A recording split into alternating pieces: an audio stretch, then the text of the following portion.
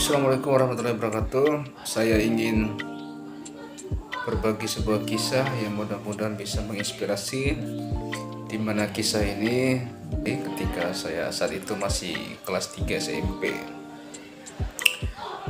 Ketika saat itu saat uh, era-eranya tahun ini ya reformasi 98 itu saat akan berlangsung demonstrasi di mana uh, akan muncul riak-riak yang mungkin secara nasional akan muncul di Jakarta yang juga terpengaruh di daerah saya yaitu di Kota Bima yang saat itu masih Kabupaten Bima ya. Saat itu tahun 98 saya masih kelas 3 SMP.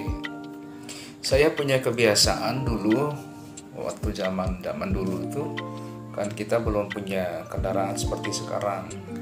Jadi kalau mau ke pasar saya jaraknya sekitar 3 kilo ya dari rumah saya.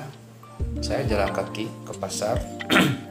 Tidak tahu saat itu karena zamannya masih menggunakan uh, radio pada saat itu almarhum bapak saya suka mendengar radio dan saya terbiasa dengan itu mendengarkan berita-berita nasional. Lalu kegalauan saya muncul saat itu. Tidak tahu kenapa saya ingin cari angin. Lalu saya uh, coba untuk menenangkan diri dengan informasi-informasi yang ada. Saya sekaligus memantau bagaimana uh, situasi di pasar saat itu kan ada isu-isu akan ada demonstrasi. Dan memang ketika saya lewat ke sana saya susul di jalan di mana saat itu belum bisa mungkin ya. Saat itu belum bisa saya jalan sudah mulai sepi. Ya saya jalan sendiri dan saya punya kebiasaan dulu kalau jalan itu kan motong kuburan. Jadi Gak tahu dari dulu saya memang gak biasa untuk takut ya. Terbiasa mandiri dan tidak pernah takut dengan ya mungkin zaman zaman dulu tuh masih suka horor-horor gitu kan penampakan penampakan ya saya cuek saja di situ. Lalu sekali waktu saya jalan melewati sebuah toko saat itu toko sepatu ya. Eh, ada satu orang di mana toko semua sudah tutup. Lalu saya lewat dia punya mobil kecil saya perhatikan karena saya terbiasa diajarkan untuk baik kepada orang karena saya melihat beliau ini sendiri kemas-kemas terburu-buru. Saya melihat saya dengan rasa empati ya saya mendatangi beliau ya sekitaran umur saat beliau saat itu mungkin sekitar 27 ya. Tidak terlalu dewasa juga tidak terlalu muda mungkin. Lalu saya tawarkan untuk bisa saya bantu dengan ikhlas ya. Saya bantu beliau karena saya kasihan. Saya pikir rasa itu mungkin akan ada ribut segala macam. Ya udah saya datangin. Lalu saya tawarkan untuk minta bantuan mengangkat sepatunya. Cuman beliau lirik sebentar terima kasih. Begitu mungkin karena dia terburu-buru ya udah saya angkat. Saya masukin ke belakang uh, bagasi mobilnya. Saya taruh saya taruh saya taruh dengan ikhlas ternyata beliau di saat itu tidak tahu apa yang dia pikirkan. Lalu ketika sudah semua sudah selesai diberikanlah saya uang 500 perak saat itu uang monyet ya. Kalau bahasa kita dulu tuh uang monyet.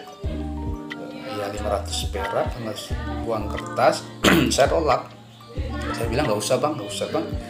Tapi dia taruh di kantong saya ya karena saya tidak minta kasih. Saya agak senang ya untuk CP itu. Lalu saat itu saya ingat orang tua di rumah. Ya jujur ya waktu itu saya memang bukan tergolong orang yang dia ya anu tingkatin ya. High class lah begitu saya orang sederhana bapak saya seorang guru. Dan saat kelas 3 itu memang ya krisis moneter lalu uh, saya kebayang sepanjang jalan itu saya senang saya bahagia dapat uang 500 perak hasil bekerja gitu. Hasil saya bekerja saya rasa bantu orang sih ya tapi dikasih uang ah ada kebahagiaan ya.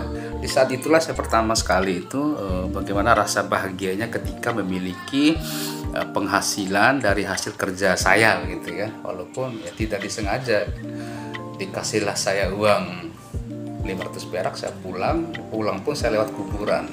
Di samping kuburan itu ada satu kios ya kios dulu. Saya masih ingat sekali. Lalu uang 500 itu saya belikan. Saat itu adalah salah satu merek mie yang terkenal saat itu. Saya beli sekitar dua bungkus kalau tidak salah. Lalu saya beli telurnya. Lalu diam-diam saya di rumah saya pulang. Orang tua saya kan punya saudara banyak gitu. Untuk dibiayai kuliah saya harus sabar ya lalu eh, nggak uh, tahu apa diskusi dengan ibu saya saat itu. Saya diam-diam aja di apa namanya di dapur saya masak. Saya masak pakai kompor tadi itu ya. Saya masak saya buat dengan hati apa namanya terharu mungkin. Saya kira saya rasa itu apa seperti apa nanti reaksi orang tua saya bapak ketika saya suguhkan makanan yang saat itu memang ya kita senangi lah. Jadi saat itu sama telur lalu saya masaki sesuai selera beliau. Kalau beliau itu suka makan yang yang uh, matang sekali gitu. Ada setengah matang ya sudah hampir-hampir seperti bubur begitu. Saya campur dengan telur saya suguhkan di atas meja subhanallah. Tatapan beliau terhadap saya itu sangat mendalam sekali dan itu sangat membuat saya terkesan sampai saya mau mengeluarkan air mata dan di situlah saya mengatakan bahwa begitu bahagianya bisa uh, memberikan sesuatu kepada orang tua apalagi hasil keringat. Dan semenjak saat itu dan sampai sekarang ya motivasi motivasi motivasi seperti itu terus hidup di dalam hati saya bagaimana saya membahagiakan orang lain. Karena pada saat itu dengan penuh keikhlasan saya membahagiakan orang tua dan kebahagiaan itulah yang terus hidup di sini dan ingin saya terus laksanakan di mana pun saya berada dan kepada siapa pun insya Allah. Itu sedikit kisah dari saya, kisah hidup saya, kisah nyata. Yang bagi saya pribadi memberi motivasi buat saya sendiri dan mudah-mudahan ya bisa difahami oleh teman-teman dan menjadi inspirasi buat teman-teman semuanya bagaimana kita menyayangi orang tua. Lalu kita tidak semata-mata meminta sesuatu kepada orang tua tapi kita juga sedari kecil belajar untuk bisa membahagiakan orang tua. Oke demikian dulu cerita singkat saya pada kesempatan kali ini. Mudah-mudahan nanti kita bisa buat video-video lain yang tentu saja berdasarkan kisah nyata. Bisa dari orang lain bisa pribadi saya sendiri yang tentu saja akan memotivasi dan menginspirasi mudah-mudahan buat orang lain ya. Oke demikian. Lebih dan kurang mohon maaf atas eh, kesempatan menonton saya ucapkan terima kasih dan mudah-mudahan ini memberi pahala buat saya pribadi dan bisa disebarkan oleh teman-teman semuanya dan memberi pahala buat orang lain. Demikian, Assalamualaikum warahmatullahi wabarakatuh.